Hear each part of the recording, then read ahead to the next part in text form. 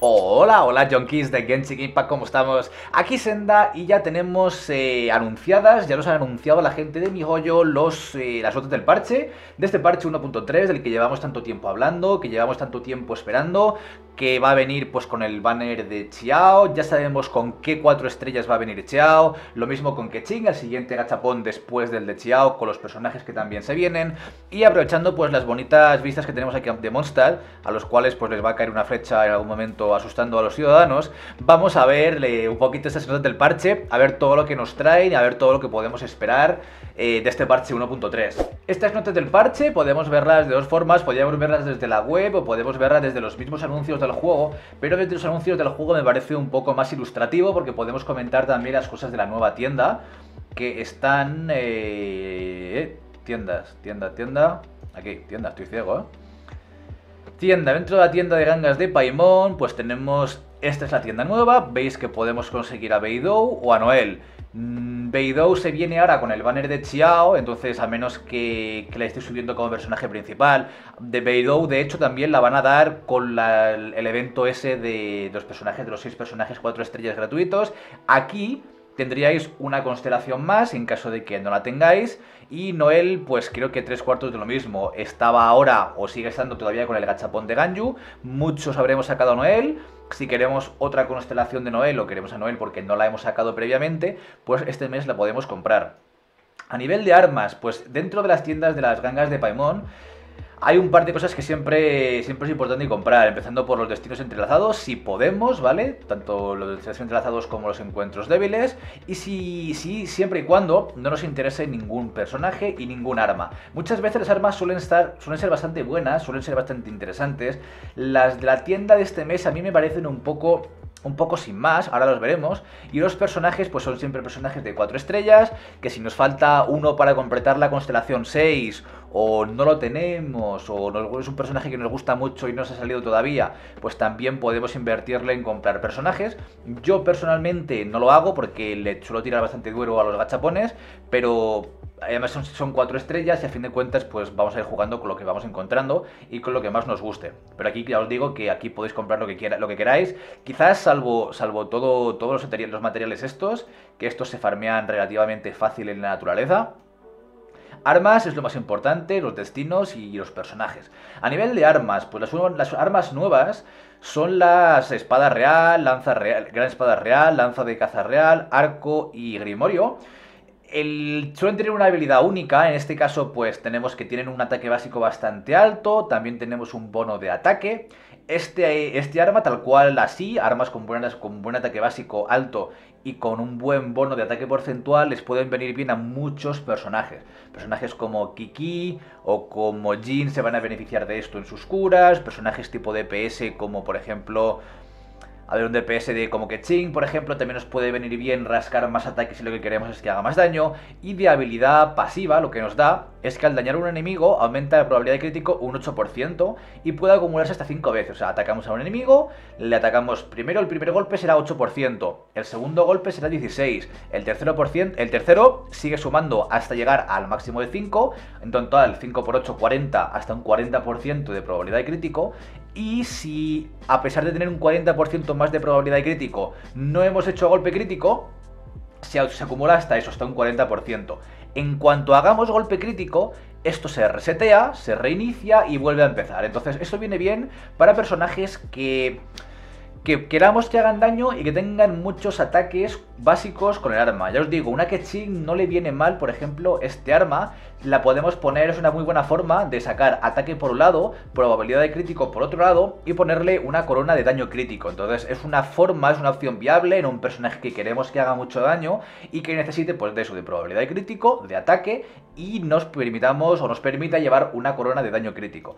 A nivel de, del resto, pues hombre, toda la pasiva es la misma, ataque de stat principal y de pasivas exactamente lo mismo.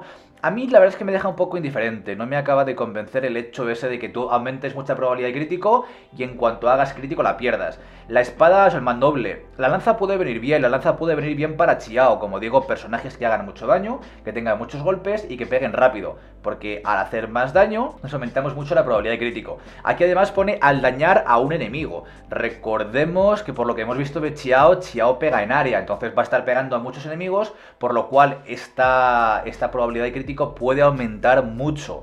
Y como pegamos muchas veces, a las 5 que peguemos lo tenemos capeado, hacemos golpe crítico y se reinicia. Entonces, la lanza, si vais a la por Chiao, no es una mala opción. El libro a mí no me convence, el arco igual, ni el mandoble tampoco. Pero la espada de una mano y la lanza, que van a hacer muchos golpes, pues sí que pueden venir muy bien para incrementar nuestra probabilidad de crítico. Y luego, a nivel de, a nivel de todos los eventos que se vienen en el este parche 1.3, vamos a empezar por arriba. Pues aquí tenemos eso, el evento Luces en el Horizonte, el Festival de las Linternas, aquí tenemos pues vista previa de la versión 1.3, que es el vídeo que estuvimos viendo en directo. La función de predescarga, que también la estuvimos viendo, que la podéis predescargar ya, creo que son 2 gigas o 3 gigas. Y así en cuanto salga la actualización, pues no tenéis que bajaros toda la actualización y la predescarga, lo tendréis mucho más rápido para, para empezar a jugar. Luego, nueva versión 1.3, pues nos comenta cuánto va, cuándo va a ser. Mañana, día 2 de, enero, eh, a las 11 de la noche, durará unas 5 horas. Entonces, para el miércoles por la mañana ya tendríamos. Aquí tenemos pues el nuevo método de actualización de cliente, que es esto que os acabo de comentar. Nos van a dar protogemas por cada hora de mantenimiento, entonces nos van a dar 300, 300, 300 protogemas. ¿Que acaba en 3 horas? Pues nos, las mismas 300 protogemas no afecta. Que por lo que sea son 6 horas, pues nos darán 360 por cada hora que se prolongue o por cada hora que dure este, esta actualización, 360 protogemas más. Eh, todas estas protogemas se les darán a, las, a, los personajes o a las cuentas que tengan más de nivel de aventura 5. Y aquí tenemos pues en lo que viene la actualización, ¿vale? Todas las notas del parche 1.3. Estos son los eventos. Y aquí tenemos pues nuevos personajes. Chao. Ya lo hemos visto, ya sabéis quién es, ya habéis visto mil vídeos de él, personaje de, lanza que pega muy fuerte, que mata cubos, él solo, ya lo conocemos. Luego, ¿con quién va a venir Chiao? ¿Cuál va a ser el banner de Chiao? Pues tenemos, por un lado, Chiao como 5 estrellas, y luego tenemos a Diona. Diona es muy buena healer crío, cura y pone buenos escudos. Tenemos a Beidou, la hemos visto también anteriormente, os regalan una copia de Beidou, la tenéis en la tienda y Xinjiang, que es también otro personaje que también hemos visto anteriormente, que también lo van a regalar. Entonces tenemos, pues, yo creo que Chiao el más destacable, luego Diona vendría a ser la segunda mejor, y Beidou y Xinjiang son las que se quedan un poco por detrás. Entonces aquí los dos tops son estos dos, Chiao y Diona. Y luego, el segundo gachapón de este parche 1.3, tenemos a Keching, y Keching va a venir con eh, Ningguang, Ningguang estaba cantado que iba a venir en algún gachapón este mes. Tenemos que viene Bennett también, otro personaje que cura, que potencia el ataque, un muy buen support. Y luego Bárbara, que es un healer, ¿vale? Un healer eh, de los peores healer, pero cura bastante. En comparación con, con Diona, Diona es mejor, Jin es mejor porque ofrece más daño. Kiki es mejor también, pero como healer para gente de early y tal, que no tenéis todavía ningún healer, pues le podéis conseguir la primera constelación, porque ahora para creo que os la dan al principio, o la podéis conseguir mediante misiones al principio. Entonces tenemos que dentro del banner que Ching es quizás el banner, aunque es un personaje muy bueno, quizás el menos hypeado, porque tenemos a Chiao en el otro, pero los cuatro estrellas sí que son muy buenos. Ningguang muy buena, Bennett muy bueno, y Bárbara, pues no está mal, pero también es bastante buena. Y como digo, pues que Ching muy buena. Aquí me gusta que pongan esto, que es interesante el tema de durante la versión 1.3 habrá más gachapones del personaje. Ested atento a las últimas novedades, de modo que estos gachapones normalmente cada actualización suelen venir dos gachapones. En este que hemos tenido ahora, pues teníamos la primera parte era Albedo, la segunda parte era Ganju. Ahora tenemos la primera parte es Chiao, pero en versión reducida, solo dos semanas. Luego tenemos que Ching, solo dos semanas. Y esto básicamente nos dice que va a haber un tercer gachapón, pero todavía no sabemos de qué personaje. Todos los dedos, todas las suposiciones apuntan a Jutao. Hay algunas filtraciones por ahí que hablan de que Jutao va a venir junto con Zhongli, pero estos son eh, suposiciones. Pero aquí simplemente nos dice que habrá más gachapones hasta antes de que acabe la versión 1.3. Eh, Entonces podemos esperar otro después de Keqing, que sacáis a Chiao y pasáis de Keqing, pues esperáis, y habrá aquí seguramente, seguramente, yo os digo, Jutao es lo que, lo que todo el mundo se auspicia. Nuevas armas, cortador de Jade primordial, esta es la espada de Jade, y báculo de Homa, que es una lanza que no la he visto todavía, no sé cómo de buena o de no buena es, pero la del cortador de jade primordial tiene pinta de ser muy buena, ¿vale? Tiene pinta de ser muy buena. Luego lanzalítica 4 estrellas, espadalítica mandoble. Aquí tenemos, pues estos van a ser el banner de, el banner de armas. Nuevos eventos, pues aquí tenemos todos los eventos que ya anunciaron en 1.3, el, el personaje de 4 estrellas que ya regalaban, también tenemos un vídeo en el canal hablando de esto. Luces en el horizonte, el Festival de las Linternas, que son tres, eventos, uno del 10 al 28, del 14 al 28 y del 18 al 28, o sea, todos duran del principio a fin, solo que van escalonados. Anécdota del Rito de la Linterna también, Rito de la Linterna 1, 2 y 3.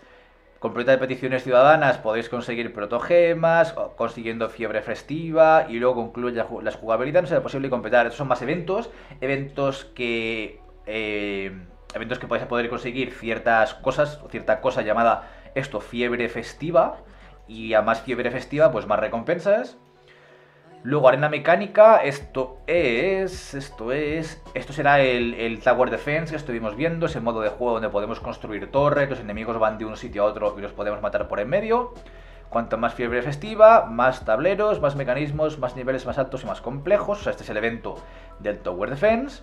Marcado celeste, es el tema de... Eh, es otro, otro evento, también escalonado fase 1, fase 2, fase 3. También una empieza el 10, una empieza el 14 y otro empieza el 18. Y todos acaban el 7 de marzo, o sea, vamos a tener eventos por un tubo este mes. A tu lado me siento seguro que es, otra vez ya lo hemos visto, el que nos regalan, el 4 estrellas que nos regalan. Aquí tenemos inicia sesión durante 7 días y obtén 10 destinos entrelazados. Esto es lo que comentaba que nos van a regalar 10 destinos para que le tiremos gratis al banner de Chiao o al banner de Keqing. En este caso es del 11 al 26, o sea, los podemos, los podemos guardar. Supongo que del 11 al 18 podemos sacar suficientes destinos para tirárselos al banner que queramos. O los tiramos o los guardamos. Y Fortuna Multicolor es el evento de hacer fotos, hay diferentes colores que las podemos intercambiar con nuestros amigos hasta que consigamos pues todas las fotos de todos los colores.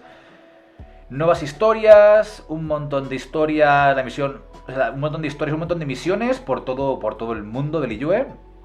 La misión de. La misión de, de Chiao, la misión de historia de Chiao. Y luego otros contenidos, pues los nuevos monstruos, que también habrá un evento de matar a los monstruos nuevo artilugio, nuevo logro, nuevo consumible que te permite cambiar las cosas de, la sintetización, nuevas recetas de comida, el sistema, todo esto ya, todo esto ya lo vimos en el vídeo. Exhibición de logros, la, ficha esa de personaje, la enciclopedia Pokédex de todos los animalitos. Y había por aquí el bufo de los Geo, ¿vale? El, arreglo a Zhongli, Zhongli lo bufan. El vídeo de ayer también estábamos hablando de todo esto, no solo al bufo de Zhongli, sino a todos los Geo. También han ajustado un par de cositas a nivel de eh, al talento torrente ilusorio de Mona, le hacen un pequeño reworkeo. Añade nueva animación en espera para Kaella, optimizado el movimiento de Zhongli, optimizado el modo disparo preciso para los que usáis a, a Ganjus, va a abrir esto muy bien. Y luego optimizada la visualización de ropa, los nuevos monstruos, lógica de combate de los Slime Dendro, que cuando se escondan lejos del personaje no entrará en modo en modo de combate. Nueva espiral del abismo, nuevas fases de la espiral del abismo, los chats eliminados no aparecen en la lista de chats, lo cual está bastante bien. Aquí simplemente, pues eso, ajustes Ajustes, ajustes. Y eso vendría a ser... Eh, aquí, aquí encontré algo divertido. En la voz en chino del personaje Amber será modificada. O sea, que han despedido a Amber. O sea, al doblador de Amber lo han despedido y han metido a otro doblador de Amber. Y luego por los subtítulos, otras mejoras, protecciones, el bufo a los Geo, ajuste de escudos Geo, que es el bufo este que estuvimos comentando en el vídeo de ayer. Y todo lo demás pues son simplemente mejoras, cositas aquí y allí.